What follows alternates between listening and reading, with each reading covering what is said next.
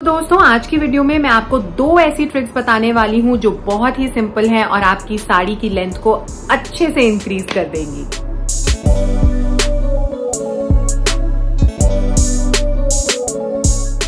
Hi guys welcome back to my channel मैं हूँ Anushka wishing you all a very very warm welcome to my channel तो friends आज की video में मैं आपके साथ एक और सारी हैक के बारे में बात करने वाली हूँ, जो कि आप लोगों के आई एम श्योर बहुत काम आने वाला है।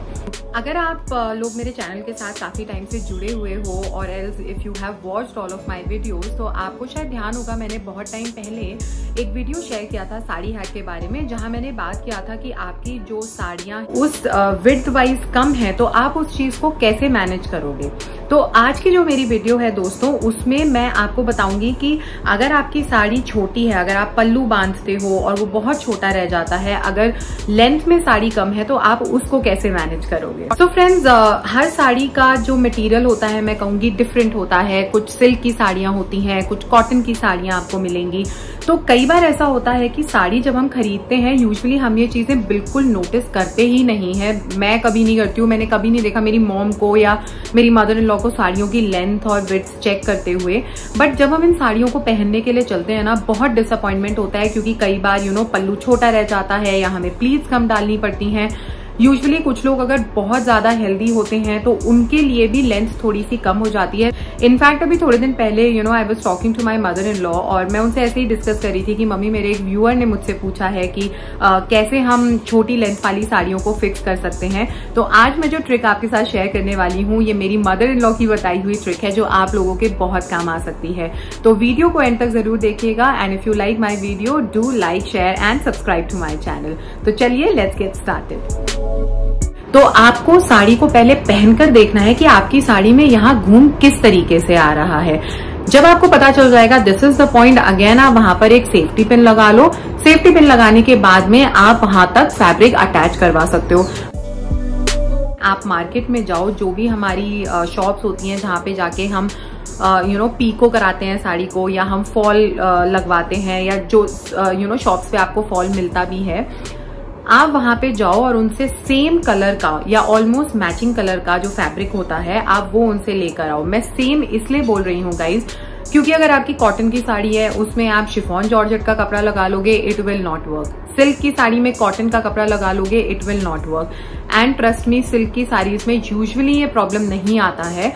आपको ये जो प्रॉब्लम आएगी ज़्यादातर या आपको आएगी शिफॉन जॉर्जेट की साड़ीज में या फिर जो आपकी कॉटन साड़ीज होती हैं, उनके अंदर। तो अब वही फैब्रिक आपको अपनी साड़ी के अंदर अटैच करना है। यहाँ पर जस्ट फॉर डेमोन्स्ट्रेशन पर्पज मैंने एक अलग कलर का कपड़ा लिया है but you have to go for the matching one हर बार जब आप अपनी साड़ी पहनोगे तो आपका ये जो पार्ट है वो कभी हमें दिखाई देता नहीं है साड़ीज में और अगर सेम कलर का है तो उतना प्रॉब्लम वैसे भी नहीं करेगा। बस अब आप अपनी साड़ी को अपने मनपसंद तरीके से स्टाइल कर सकते हो। तो है ना एकदम simple C trick so as you can see guys कि मेरा पल्लू बहुत लंबा हो गया है और मैं चाहूँ तो इसको सीधे पल्ले की साड़ी की तरह भी पहन सकती हूँ। बहुत ही आराम से मेरी साड़ी बन जाएगी और जो पार्ट मैंने अटैच किया है, वो दिखेगा भी नहीं।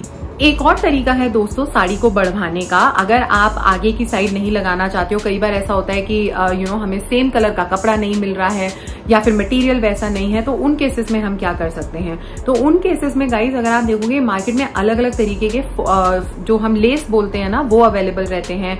या फिर साड़ियों के बॉर्डर्स आते हैं, वो अवेलेबल रहते हैं। तो जो आपके पल्लू वाला पार्ट है, यहाँ पर थोड़ी सी लेस लगवा सकते हो। तो लेस लगवाने के बाद डिपेंडिंग कितना यू नो ब्रेथ है आपकी लेस का सिक्स इंचेस बढ़ जाती है साड़ी एट इंचेस तक भी आप उसको बढ़ा सकते हो। बट यूजुअली ये जो मैं आपको लेस वाली ट्रिक बता रही हूँ ना ये ज़्यादातर आपकी, जैसे कोई एम्ब्रॉयडरी की साड़ी हो गई या फिर आपकी कोई शिफॉन की साड़ी है, अगर आप उसमें पल्लू पे लेस लगवाओगे आप सेम लेस उसके बॉर्डर पे भी लगवा सकते हो तो वो एकदम मैचिंग हो जाएगी, आपकी साड़ी एकदम नए तरीके से हाईलाइट हो जाएगी and nobody would get to know कि आपकी साड़ी जो है पहले छोटी थी बांधने में।